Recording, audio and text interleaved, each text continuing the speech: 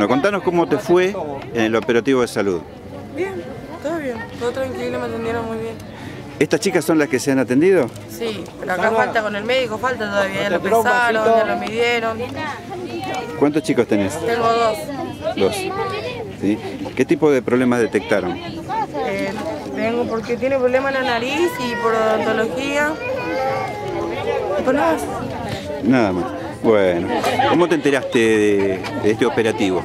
Nada más me enteré hoy, cuando Ah, vinieron. ¿A través de los delegados de...? Sí, porque yo no vine a la reunión, vino mi marido y no me dijo nada. Ah, mal hecho, mal hecho. Ahí vamos a retar al marido, ¿sí? Bueno, te agradecemos mucho.